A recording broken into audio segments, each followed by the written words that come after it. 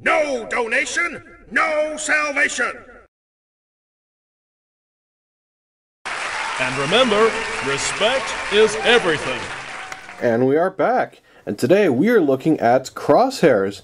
So this is kind of my own take on Crosshairs. He is based on the character from the uh, um, Age of Extinction and uh, uh, Last Knight films.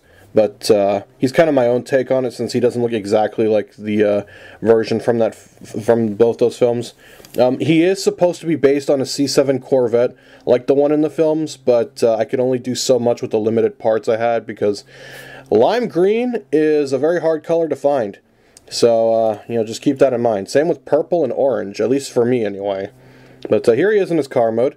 Um, again, it's not exact. I also don't normally use stickers on my builds because it's just not something I like to do, but I decided, you know what, I paid for the Legos, they gave me stickers, I'm going to use them, so screw it.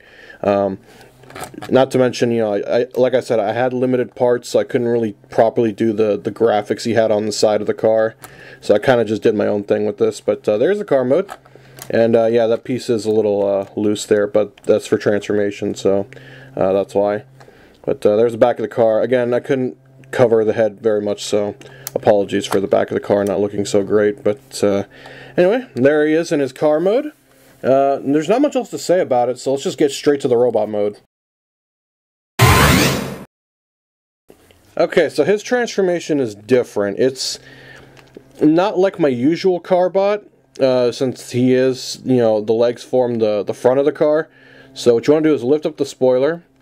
Then what you want to do is pull one side out while keeping the other side, uh, you know, down. And then they'll kind of go in like that. That's supposed to form his, uh, I guess, cape or trench coat that he had in the film. Um, again, I couldn't properly recreate the look he had because, I mean, let's be real here, physics. But uh, let's go ahead and fold the legs out. The legs here I'm actually really happy about because I'm using a new technique here so that he actually gets taller. So fold the legs out like that and they just clip in with those two little studs. Then what you want to do is uh, go ahead and fold the, I guess, cape or trench coat parts back. Again, I, I can only do so much because, let's be real here, the laws of physics are quite a real thing. And as you can see, he's gotten a lot taller because I did want him to be a little taller than my usual carbot. So go ahead and fold those out. Pull out the arms. And he has actual hands for once, which I'm really happy about because uh, I normally don't put hands on a lot of these builds, but this build was uh, a little more forgiving, so I was able to give him such, so there they are.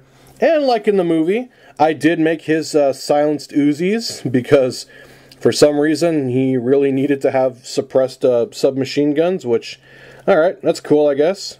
And they just go into his hands just like that, if you can see them there. They're, they're black, so they kind of blend in with the rest of the, the robot, so it is what it is, but... There's his machine guns, so you can uh, destroy Decepticons with them.